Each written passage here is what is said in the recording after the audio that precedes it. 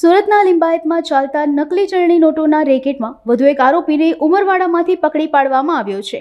મળતી માહિતી મુજબ પકડાયેલા આરોપીનું નામ શાહપોર સાદિક અબ્બાસ અલી છે, જે મૂળ મહારાષ્ટ્રનો વતની છે.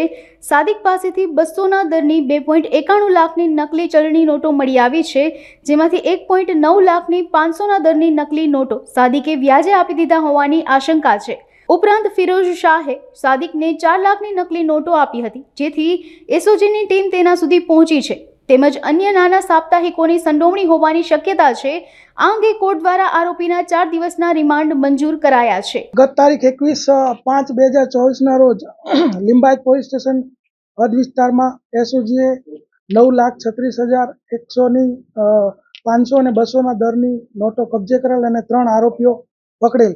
વધુ પૂછપરછ દરમિયાન જે મુખ્ય આરોપી ફિરોજ શાહ છે, એને પૂછપરછ દરમિયાન જાણવા મળેલું કે એ નોટોમાંથી અમુક જે ત્રણ લાખ નેવું હજાર સમથિંગ સાદિક અલી ઉર્ફે બટાકા અબ્બાસ અલી શાહપુર કે જે સલાબતપુરા એરિયામાં રહે છે, એને અગાઉ સિત્તેર કે એંસી હજાર રૂપિયામાં એણે આપેલી.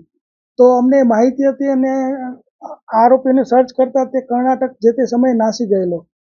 ત્યારબાદ અમારા સીપી સાહેબે, અનુપમસિંહ ગેહલોત સાહેબે સૂચના અને માર્ગદર્શન આપેલું કે ભાઈ આમાં તમામ જે આરોપીઓ અને તમામ જેટલી નોટો છપાઈ હોય એ તમામ આપણને મળી જવી જોઈએ.